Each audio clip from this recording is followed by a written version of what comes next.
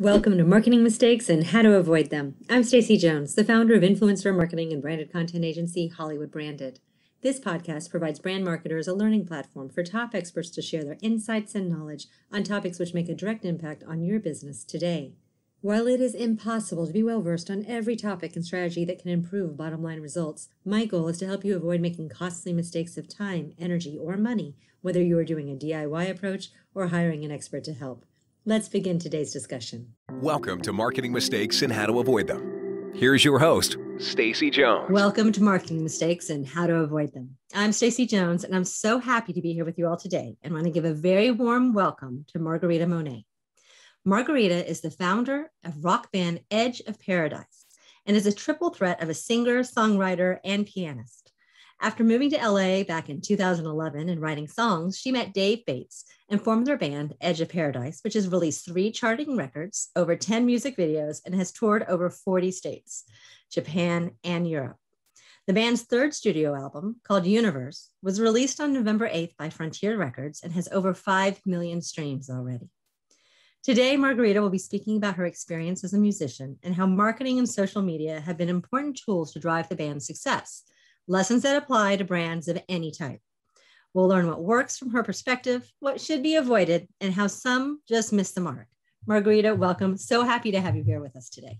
Thank you so much for the introduction. It's my pleasure. Of course. So, can you share with our listeners what got you to here today? I mean, obviously, you have a love of music and performing, but what started you off on this journey and resulted in your having a successful band? Uh, well, definitely love for music, um, a lot of hard work and perseverance because it's a definitely a tough market and these days you really have to uh, be not only a musician you have to be a business person you have to be a market person marketer. You also have to learn what visually people are attracted to as well um, and you know make the visual aspect of the band complement the sonic aspect so everything works together because you have to engage people on all senses sure. so um, i mean we definitely went through a lot of hurdles and made a ton of mistakes and but you know everything that we've gone through brought us here and in a way shaped us into better songwriters because everything that you go through really um, you know makes you grow as a person on you know um, across all aspects so now you're a classically trained pianist, right? That's how you started. I'm assuming when you were a little girl. Um, I'm, I'm, making lots of assumptions here. no, you're right. I started when I was like four in, in Russia. I practiced five hours a day. And um, it definitely really helps me in what I do. But in a lot of ways, I think the best is to really learn as much as you can. And then when you're creating something of your own, forget everything and just use that as a tool because you really have to kind of follow your imagination and your passion and try not to follow trends because in these days it's so easy to just try to chase after what's popular. But what's popular today may not be popular tomorrow. So I think it's really important to really stay true to what you create and you know make it as great as you can and then people will follow because you really believe in it. So i think that belief in what you do and that um, uh, you know it really takes a lot of work to make that the best it can be because i think that's really important to make what whatever you make the best it can be. And um, and then it will fall into place now, when you were all the way back to four and then into your tween and teenage years, did you want to be in a band? Is that what you thought you would be doing? No, I would I never imagined I would be in a band. It was so I mean, maybe secretly I wanted to. I remember my parents had like old VHS tapes of Led Zeppelin and Queen um, live concerts. Right. And he just seemed like another dimension. Like it did not even come close. I could be doing something remotely close to that.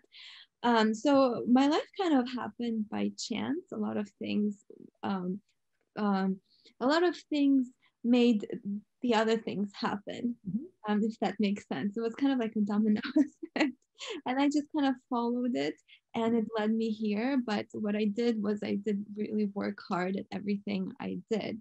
And um, I really also approached it with kind of a business aspect and a, um, like a marketing um, mindset. Mm-hmm.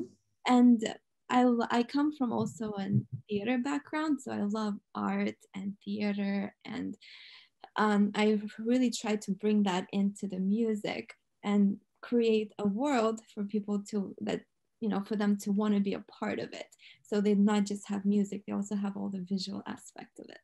Okay, that's awesome. And then so you came out, you are creating songs, you meet someone, and you decide you all are going to start a band.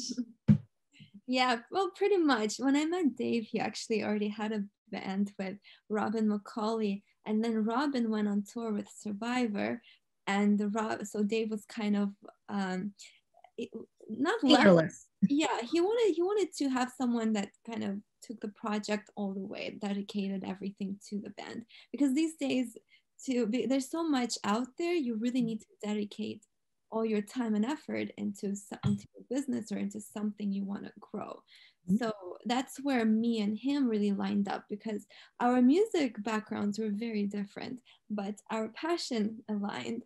So uh, we figured out and then, then it kind of worked because he brings that heavy metal um, guitars and that background and i bring more of like the theater classical like cinematic stuff. And we, you know, it took us years and years, but I think finally we really um, found the sound that defines us and it's kind of unique and interesting. And uh, we just, what really, uh, I guess, kept us going is that drive and passion for what we do. So, right. And so here you are, you have a band. Yeah. How do you make sure that you actually get fans for your band who are going to listen to you, who are actually going to come to concerts, who are going to attend the venues you're booking because the venues aren't going to care about booking you again unless people actually show up. So yeah. marketing is actually incredibly important to you. Incredibly important. And we made a ton of mistakes. And when we just started, so Dave had a car, he had a, uh, a 67 Chevelle and he sold it and we had like a stack of we had like 20 grand we're like we're gonna invest this into this band so we used 10 grand to make the first album, and the other 10 grand we just handed to a publicist. Mm-hmm. And you know, we had some idea, but we were like really new to everything. Um, so you know, the publicist did his thing, and it did it did some good things, but uh, it didn't really get us anywhere. so, okay. You know, you a lot of people tend to think that you have to throw money right away but you you do have to throw money but you have to be really careful on how you spend it and you have to have the product so um, you know after i guess you know we made the album we toured a lot mm-hmm. um, i started to really thinking how to package the band in a way that it's not just music you know, obviously we had to keep evolving our music and making the music better and better and better. I had to make sure we bring the visual aspect of it to create that experience. I think these days, what's important is to have the experience for people so they could um, just kind of it takes them out of this reality not even take them out of this reality that's more for us but like in general aspect you really need to trigger people's attention in many different ways. So um, you know it's coming from music videos to photos to how you present the photo how you edit it how you uh, you know it has to be coherent everything has to have a story and then once you have that, you have to learn what works the best for you online. And when we started, Instagram wasn't even that popular, it was all right. about Facebook. So we kind of built our fan base on Facebook. And then Facebook started introducing the ads. Everything changes so quickly. So, you know, we learned that it's important to mm-hmm. have great imagery with the message you're trying to send. Mm-hmm. Um, and that translated into Instagram. uh, to be with every post you have to be very like not mention a lot of things at once i think it's really important that you have a clear message with each post and um, uh, be like frequent and coherent with it so i noticed a lot of people write a lot of long posts and right. the message get gets lost and people these days don't have a lot of patience so they just keep scrolling. So for us what worked is just to have something visually stunning and very clear messaging and always have always have like a call to action in a way whether it is to you know watch the video or listen to the song or ask people for their input or ask you know what what's their favorite lyric what's their favorite song? You know something along those lines. Just be very clear in what you want people to get from the post. And uh, you know later on like these days you have a lot of tools like promoting the mm-hmm. ads. So when you do promote you have to be very clear on the audience you select. And you have a great tool with Facebook and Instagram where they give you like the bands that you sound similar to or like the mm. areas or demographics. So you really have to be smart on how you're spending your money in that regard. Yeah. And so, you know, I know you have your own personal um, social um, pages. Mm-hmm. Now, does your band also have your own social pages? Are you keeping them separate and, and how you're focused and growing? I mean, for me, um, like everything right now is on the focus on the band page. And uh, like because i handle a lot of the social media so for me it gets a little bit difficult. So i don't tend to post as much on my own profile every takes a lot of time. It's an amazing amount of time. Yeah so i try to gear everybody towards the band mm-hmm. instagram and facebook and twitter and then you have spotify. I mean we're lucky like we have built enough so now we have a great team of people. We have label in us we have a label in italy mm-hmm. and the us label um, so it's howard benson's label and neil from three days grace. So they have grady benson who is great with marketing on social media and he really understands algorithms algorithms. So for um, you know he brings great advice and but you know um, i'm still in kind of charge of all the creative aspect of it. Um, and then now we have tiktok which i've been very resistant to. But unfortunately that's where you know a lot of people are. And you know to be honest like when you just go on tiktok and it's that for you section you kind of get horrified by everything that comes your way. Um, so i think it's important to not get overwhelmed by the type of content that's out there and really stick to your brand and what you're trying to create and find your niche within the platform. And so with your platform and as a band and and looking at the image from you behind that you were performing at, there's a lot of older faces in that audience, right? Mm-hmm. And yet you're saying, you know, we need to consider TikTok is that so that you can reach a younger audience or do you have that younger audience already or is it that you're trying to get into a younger audience? Yeah it's it's a little bit of all those things like the the picture in the back we were on tour with sonata arctica and they're european band and they've been around for almost 25 to 30 years. They have people who have been in their 20s who are now 25 30 years in. Yeah exactly yeah so you know we were actually a bit nervous how they would take to a younger band because we yeah. do sound a little bit more modern mm-hmm. and um, but you know we try to build audience in all aspects because rock fans are very dedicated and loyal and if they like your music they will like your music for the rest of your career and you know the rest of their life so that's what's so cool about you know rock music mm-hmm. um, but you know now like with streaming what i've noticed streaming is definitely more of a younger audience so um, when we re- try to reach younger fans, we go on Spotify, we do go on Instagram, we go on, you know, TikTok, we're just kind of starting to get into that. But, you know, YouTube, Spotify, that's all um, very much younger audience as well. and you know for the older audience i really try to make sure we have great packaging for like the physical products because mm-hmm. they still love vinyls they still love cds and i really love all that. So we take a lot of time to put into you know the booklets and the artwork and just you know so they have something that can you know stand the test of time that's not just in the cloud somewhere. So, so yeah. very different demographics. You have you know the younger demographic who's going after uh, NFTs, right? Non fungible yeah. tokens, like, like, digital assets. They're like, I'm going to pay money for something that no one else has because it's a digital drawing of this. Mm-hmm. And then you have the older demographic who's like, what the, what is an NFT? I want a good old sh- shirt. I want a good old album. I want something to walk away with. And the booklets that you're talking about and everything like that. That's two very different ways of having to market. Yeah, it's and the NFT thing, you know, you have that part half of people thinking it's like the next big thing and half people thinking it's a scam because or know, what it is. They're like, I don't understand what it even is. Is it fungus? It's a digital thing. Right. I know you can take a screenshot and then it's like who knows what's the original. Right. So it, it kind of gets blurry.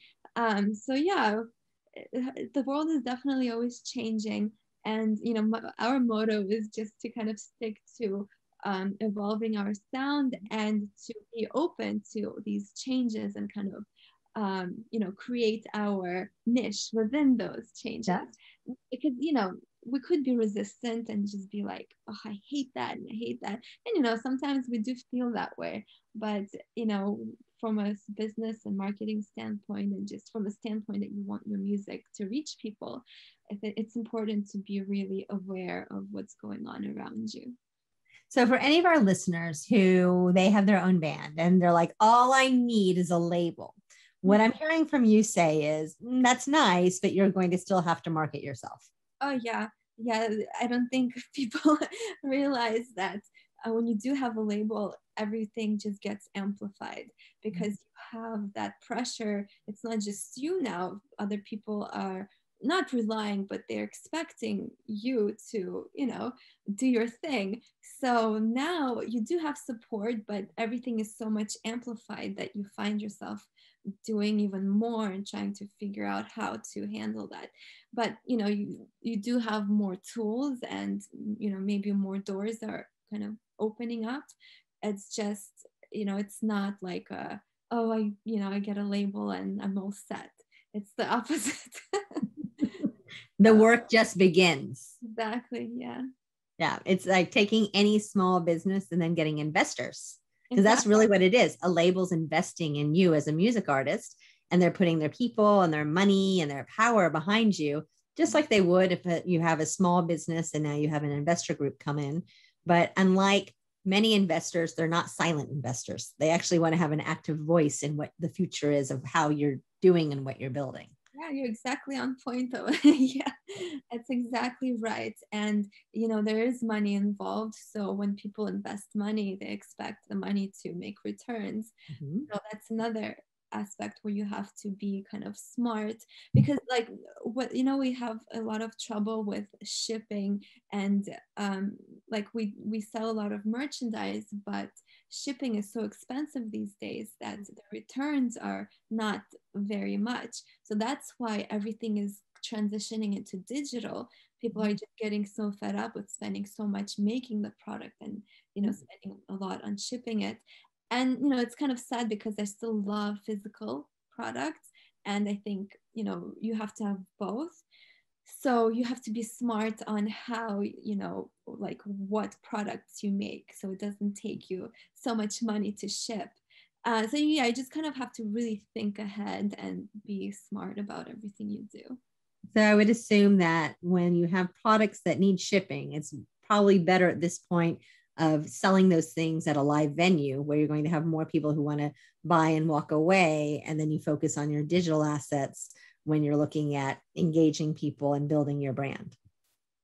Yeah yeah you're exactly right. Before this whole new world started before the pandemic when we released our album universe we did a big pre-order and we were doing it right before going on tour. So we did put in the option um, you know pick it up at the show and Mhm. you know it urges people to go to the show. It urges people to um, you know buy merch because you know we have to pick it up from the artist and it's signed and you get that experience. Like i love meeting fans and it's such a cool thing that they you know they want something of yours and they're part of you know they love your music and then you get that personal trend you know personal in- interaction which you know we're all missing right now.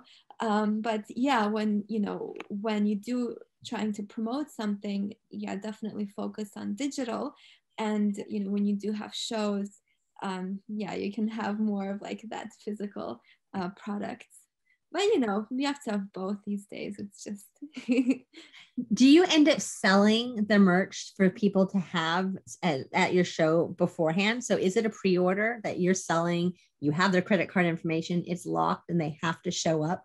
Like, and is it so you know before the show how many units you've sold already and how long you're going to actually have to stand there signing stuff?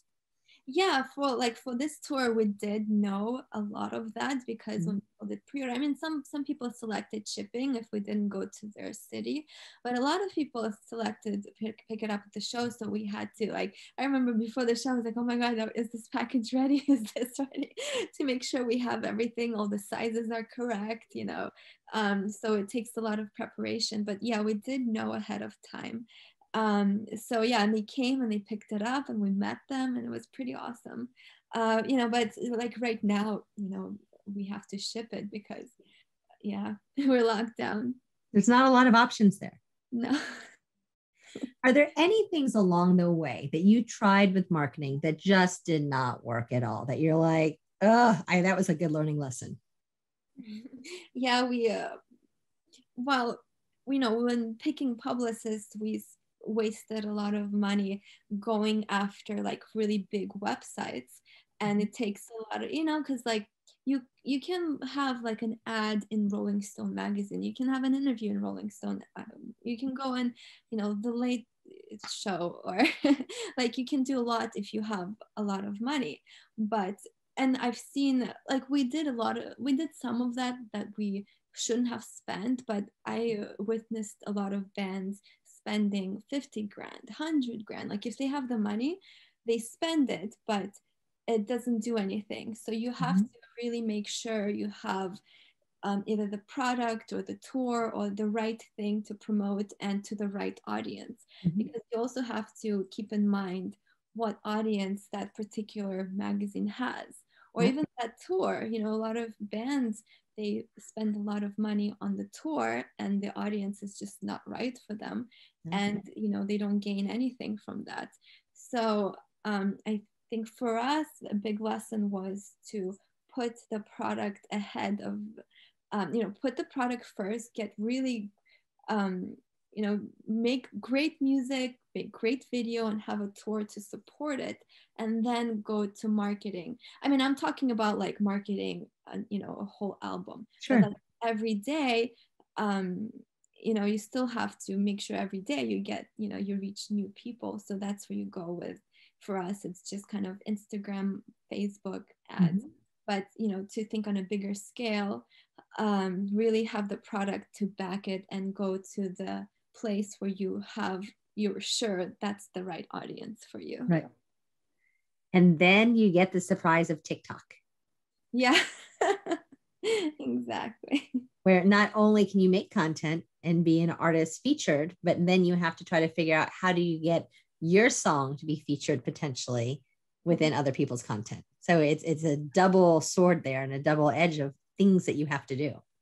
Yeah and actually we're crossing that bridge right now and we do like our label is kind of looking into it more which um, is great for me because Yes. it's, it's so new. Not that it's so new but like i'm focused on other things and there's only so many hours in the day. So yeah it's important. Uh, what's a lot of artists don't realize is that what TikTok has is only 30 seconds of your song, and mm-hmm. you actually have control of that 30 seconds that people hear.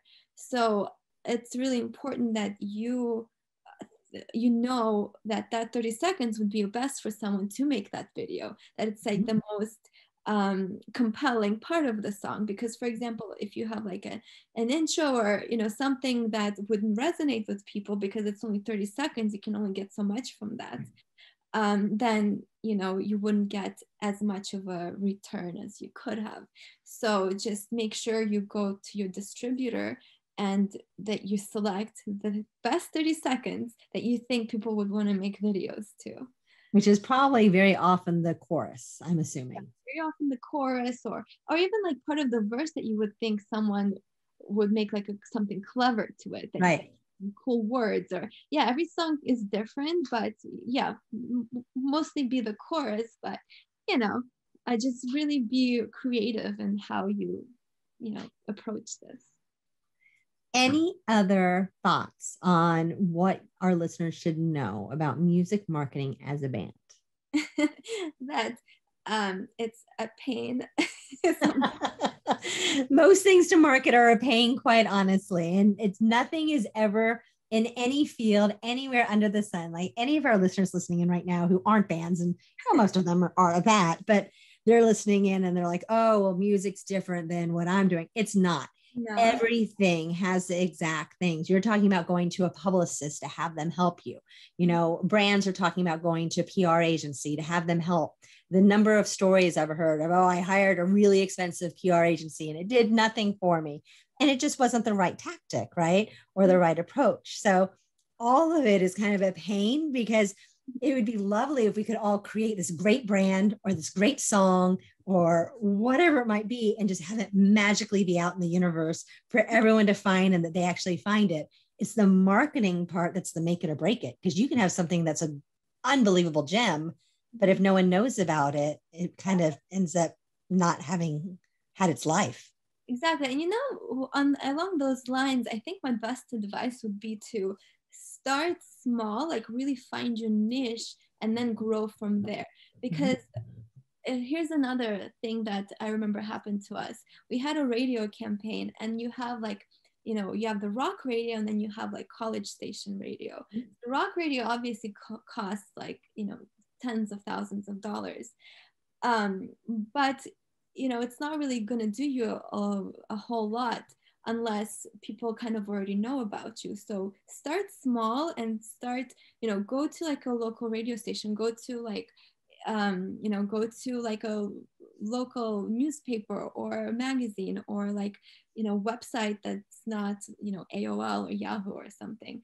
Mm-hmm. And kind of mm, start learning on what tactics work best for you and then you can go bigger from there because you really have to know what works for you before you start spending a lot of money and you know trying to go after big bigger things well, and that's what's so great about Facebook and Instagram is because you can test campaigns that are $10 campaigns and yeah, see exactly. what you're getting from that and who you're reaching and really dial it in before you go out and you go big.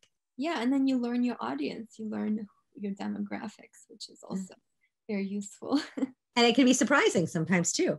Very exactly yeah. I've been very surprised by what people like oh she sounds like that. I would have never thought but uh, and then you know sometimes you would think that those type of uh, people that like that music would never like us but you'd be surprised. So when you test different things you know go a little bit of your comfort outside of your mm-hmm. comfort zone and you know you, you might be surprised and make notes Well, how can our listeners learn more about you? Where should they go to find out all about your music now that you know they're they're they have to be curious? well, they can go on our website, which is edgeofparadiseband.com, and they can also go on our YouTube with if they search Edge of Paradise. Our music videos will come up on Spotify, Edge of Paradise, on Instagram, Edge of Paradise, pretty much anywhere. Just type Edge of Paradise and you will find us. And we are very social bands, so we love to interact with people and, uh, you know, grow our community. So, you know, we would love to hear from you. Perfect. Well, thank you, Margarita. Thank you so much for joining us today. You know, this was a definitely a different interview and a different angle, but everything you said, and, and for our listeners, just again, I just want to reiterate this there is no difference between any type of product pretty much under the sun b2b b2c music anything. It's the same challenges with marketing and advertising, and it's the same approaches that can be used. You just have to decide, as Margarita was so good about saying, is it a localized effort? Is it a national effort? Is it a global effort? And you can really hone in on those smaller audiences and learn about your brand and grow from there before you start spending tens, hundreds, millions of dollars. exactly. Well, thank you so much. It was such a pleasure. And um, yeah, really great to be here. I appreciate it. Awesome. Well, you were great to be here. Thank you again. Thank you. And then to our listeners, thank you for tuning in to another episode of Marketing Mistakes and How to Avoid Them. I look forward to chatting with you this next week. Have a great day.